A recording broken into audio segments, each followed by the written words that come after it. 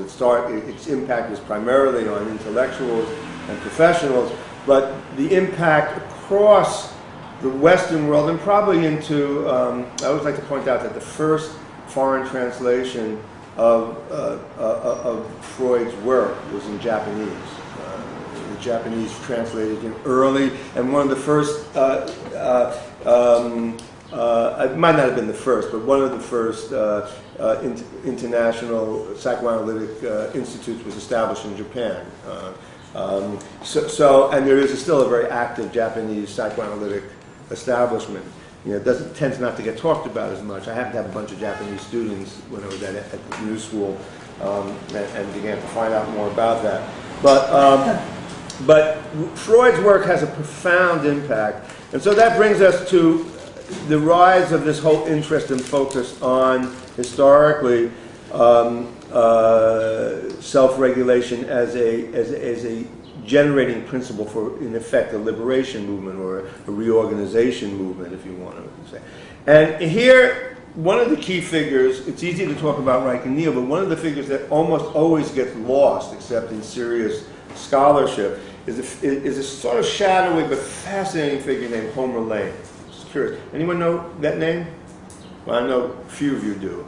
Um, okay, some the hands that went up were a couple of scholars and a couple of students of mine who, who've heard me talk about him. But but but but Homer Lane. Oh, I thought you meant Homer Simpson. well, he could have. Pro- I, have, I have a suspicion that Homer Simpson is, is, is modeled after Homer. It might well be. Uh, Homer Lane is an interesting American story in, in a very real way. He emerges sort of shadow from a shadow. He, he only lived, he died. He, he lived from uh, um, um, 19, 1875 to 1925. So he's relatively short life. But he emerges out of America, right? No clear educational back. I mean, he doesn't have. A, I mean, he's obviously educated, but he doesn't. He's not like a Harvard scholar. He's not John Dewey or, or someone like that. He's influenced profoundly by John Dewey comes out of the, what is known as the progressive education movement in America, the progressive um, uh, psychology movement in America, but becomes totally reorganized around the advent of Freud's uh, early work, particularly in, in, in, in, around 1910, roughly around the time that Freud comes to America for his, his historical visit. Lane emerges and develops an extremely unique and typically American kind of view of psychoanalysis and how it applies to real people in real life, and particularly to young people.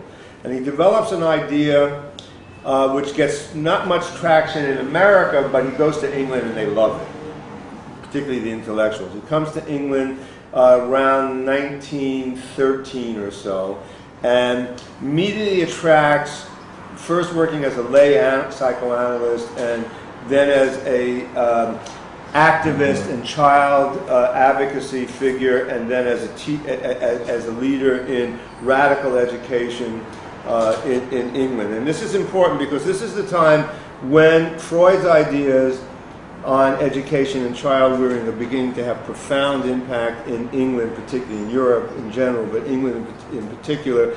And there is a whole group of extremely uh, young and very enthusiastic, high level writers and intellectuals and uh, doctors and educators who become very, very attached to Freud's ideas, and Lane is the first one who organizes them and unifies these ideas with an educational model. And the particular model that he presents is a model he calls self governance, which has its roots largely in Ameri- Amer- very, very fundamental American concepts of democracy and particularly John Dewey's concept of democracy. Dewey is a man well worth reading. We tend to ignore him far too much. Um, um, he's, you know, on the other hand, he also wrote 95 volumes. Um, he lived longer than any of them and kept writing on everything. But, but I guarantee you it's fascinating. For the, I mean, Dr. Coley is uh, shaking her head because she's read this stuff. If you read it, he's, he's, he, there's always something worthwhile and very interesting. And much of it has its own strange support of a lot of the ideas that Reich and Neill. So this is not something that Reich and Neill sort of invented out of, you know, uh, thin air. This was, this was present in, in, and around um, the whole operation. And it should be kept in mind that, you know, there's so much always with Reich. You know, people like Darwin and Freud, but also Marx, play a real role in, in shaping a lot of Freud, uh, a lot of um, Reich's and, and, and Neill's interests and concerns. Um, but Lane, basically, and, uh, I'm looking at the time and I know I'm about, probably going to get the, the buzzer soon. Um, Lane uh, basically established, does a very fascinating thing. He has a group of people, some of whom you will recognize. Among his inner circle were Christopher Isherwood and uh, um, um, um, D. A. Uh, uh, uh, Auden, the poet, and and A.S. Neill, the young A.S. Neill, who was not an edu- while he taught and was a teacher, was primarily had come to London because he had, he had recently become renowned Scottish writer. He was the heir, and a lot of people don't realize this, in England, in Britain, Neill is the heir to J.M. Barrie, the writer of Peter Pan. He became, he was touted as the next great Scottish literary figure, and he was, became the toast of the town, much to his father's surprise. He, Neill became a teacher, as he points out, because his father didn't think he was smart enough to be a minister. Um, um, uh, or, or really be educated, which tells you something about the, the, what they considered the, the role of the teacher. In, in um, uh, and he failed as a teacher, he loves to point out, because he wasn't strict enough or vicious enough or, or nasty enough. Um, so Neill comes and becomes part of the circle. What Lane did before he was brought down is start a community called uh, uh, the Little Commonwealth. And what he did is he, he was very, he was also had that kind of American sort of ingenuity. He went right to the heart of the, the British penal system, who was where there was an amazing. It's fascinating how time doesn't change. There was a huge problem with street gangs and in, in those days called incorrigible delinquents, uh, street kids. And they were incarcerated in adult prisons, and, and it, it was just a, a major scandal. Lane went to them with a challenge. He said, Give me the worst of your worst, right? And I will, at no charge to you, run an institution and I will rehabilitate these children, these, these young, it was primarily men, although he did work with girls too. And they said, Oh, you know, typical British fashion, fine, take it. Assuming it would, in fact, it worked phenomenally well. Uh, and the principle that he ran the program on, which was important for what we're talking about, was that the, the little commonwealth was run with a on the principle of self-governance. Each participant, whether they were a murderer or uh, a, you know uh, an art, well, the rule was you couldn't be an arsonist. That was always A.S. Neill's rule. He, the only children he wouldn't allow in to the institution by necessity were art, known arsonists. You know, um, and he was always very explicit about the reason why. He said it didn't take too much sense to figure out why we can't have arsonists coming to the school. Murder, but other than, murder is okay. Murder. Yeah, yeah, murder we can deal with. Arson, arson is problematic. So, barring that, we took in really the hardest cases.